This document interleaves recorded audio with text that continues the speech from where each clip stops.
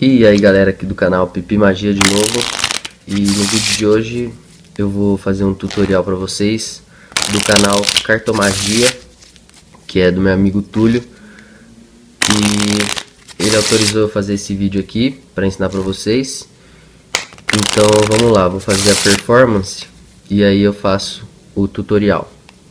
É, Como vocês estão vendo aqui eu estou embaralhando bastante.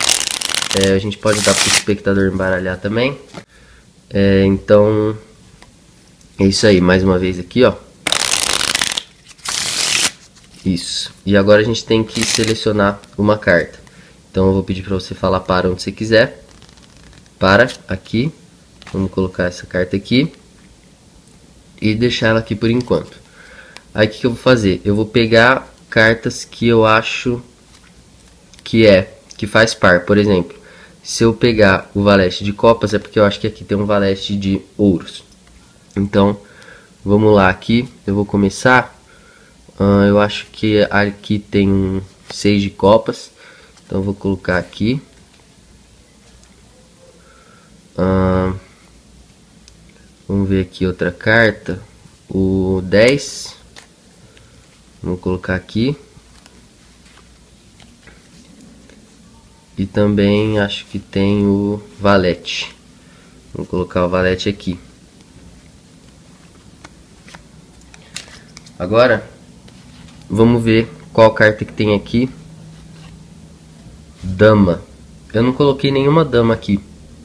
Mas se eu fizer assim, você pode ver que todas as damas estão aqui, foram selecionadas. Bom, essa mágica ela é bem legal gera reações muito boas e ela é razoavelmente simples de fazer. É, você pode embaralhar à vontade, pode dar para o espectador embaralhar. O que você vai ter que saber é forçar uma carta. Por exemplo, depois que o espectador embaralhou, você pode ver essa carta de cima, ou você olha a carta de baixo e dá mais um shuffle e controla a carta para cima para forçar melhor ou você simplesmente faz assim, que foi o jeito que o Túlio ensinou lá no canal dele. É, você vai fazer assim, ó. Você vai empurrar com esses dedos aqui, essa carta para cá, e aí você vai conseguir ver aqui. Depois que você viu, você vai forçar, né? Eu forcei desse jeito aqui, que eu já ensinei no meu canal. Aí o que, que você vai fazer? Você sabe que é um 3. Então, aqui você vai procurar por todos os três do baralho. E aí, o que, que, você vai fazer? Ó, vamos achar um 3 aqui.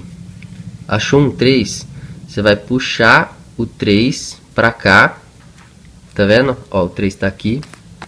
Ó, vamos fazer de novo. É, o 3 aqui, ó, você vai puxar com esses dedos para cá. E vai deixar o 3 aqui. E aí você pode passar algumas cartas, voltar algumas e aí, por exemplo, é, eu vou falar o 4. Aí eu falo 4, aí eu ajeito aqui pro 3 ir para cima do 4 e aí eu jogo o 3 aqui no cantinho. Entendeu? A pessoa acha que é um 4, só que na verdade eu estou colocando um 3. Ó, mais uma vez aqui, ó, vamos achar o outro 3.